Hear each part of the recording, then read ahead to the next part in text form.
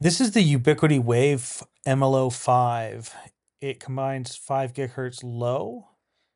Uh, so this says 5 gigahertz low channel 0, and this says 5 gigahertz low channel 1.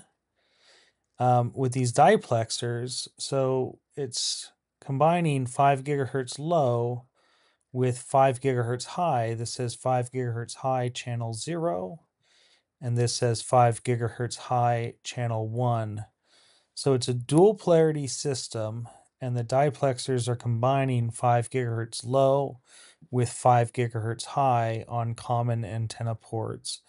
And the diplexers have really good isolation, so they don't need these uh, ceramic filters.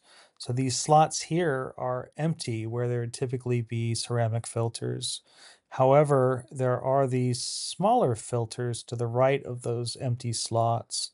So you see the small filters here.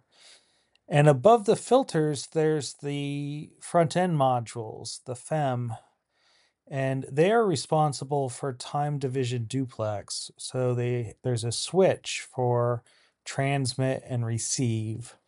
And on the transmit, it's using power amplific power amplifiers, and for the receive, low noise amplifiers because the signal is much weaker when it's received than when it's sent. And this is the QCN 6472, which is the IPQ 5322 by Qualcomm. It's a very good product by Ubiquiti. Thanks for watching.